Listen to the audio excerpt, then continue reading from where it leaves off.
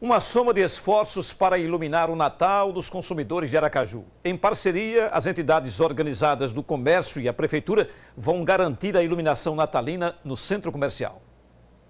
O centro de Aracaju vai estar iluminado para receber os festejos de fim de ano. A Comércio, junto com as outras entidades, CDL e a SESI, é, ratificado pelos nossa, pela nossa diretoria, que era necessário nós termos alguma mobilização para que o espírito natalino viesse com mais força. No ano passado, a ausência das cores do Natal trouxe prejuízos. Com a iniciativa de ter um Natal iluminado em Aracaju, a FEComércio está com expectativa positiva para as vendas do fim do ano.